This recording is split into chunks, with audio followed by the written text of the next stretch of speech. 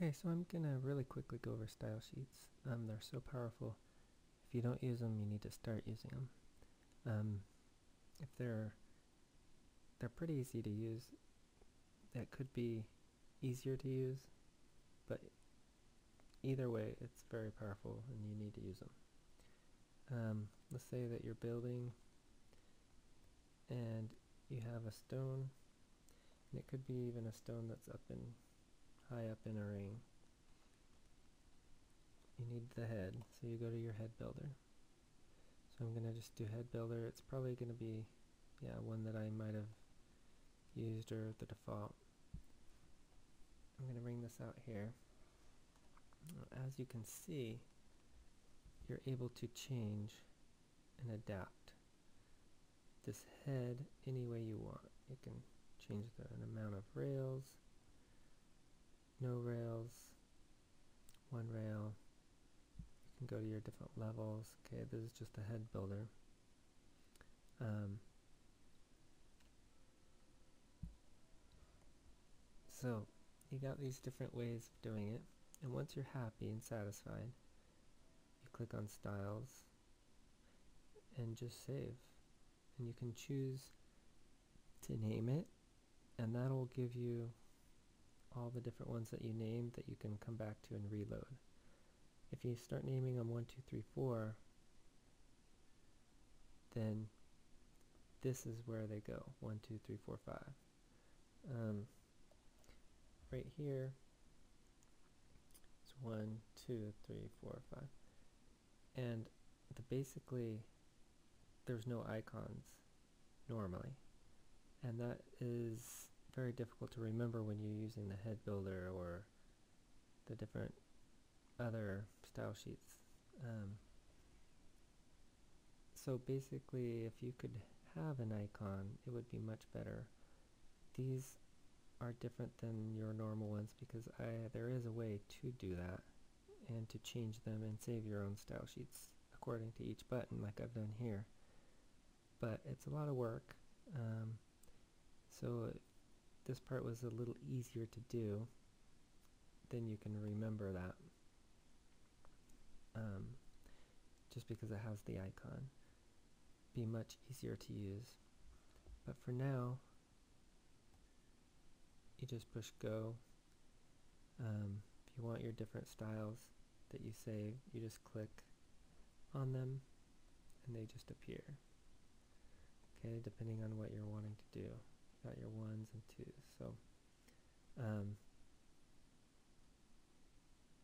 that's basically it for style sheets. You know, you pull it out, um, push go, push enter, and then if you had another stone that you're working with, um,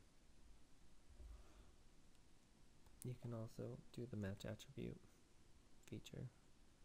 Um, choose head and then there you go. Um, it's the same thing. I'll do a few different examples. Got this. We'll do gem on curve. For now, we'll just have them facing down. I'll just push enter and I'll throw one over here. Also, just for now, just do down. Usually, if it's on a surface, you can have it choose it to follow the surface. Um, so we've got two, one that's flat, one that's a little more curved. Um, you can ungroup those. Sometimes what I like to do is take and do the head builder and choose a style like that, push go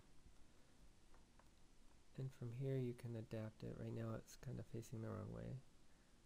So you can adjust it. I might have it like that, let's say. If I'm happy,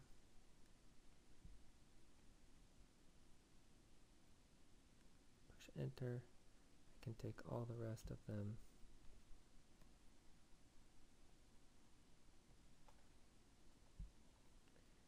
push F6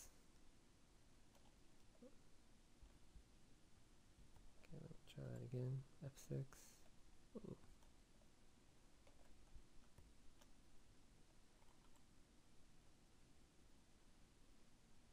Match attribute to that one. Head, go. Okay, now you can see that it's easy to have four prongs per stone like that. Um, if you need to adjust them, basically just have to select them all. Delete them. Re-enter the head builder, make your adjustments, and then you just have to reapply them.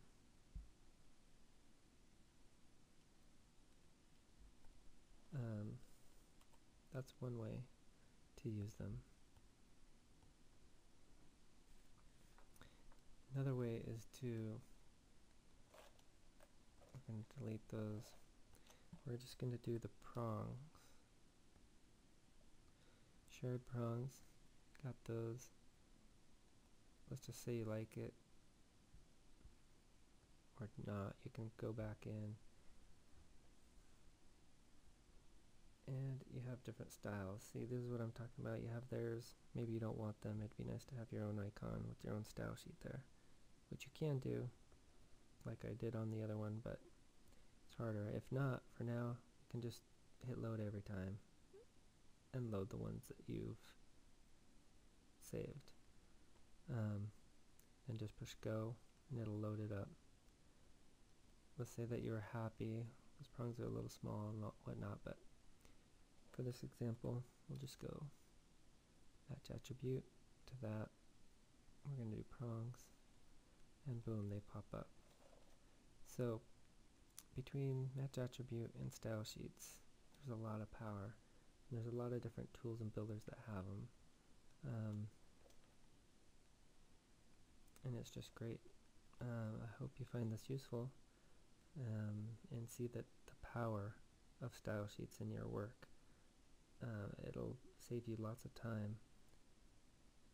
You know, it just would be nice if you were able to change out the icons and put your personal ones in there would be excellent. Um, but other than that, they're still usable and still work great. And that's about it. Hope you enjoyed this little video about style sheets.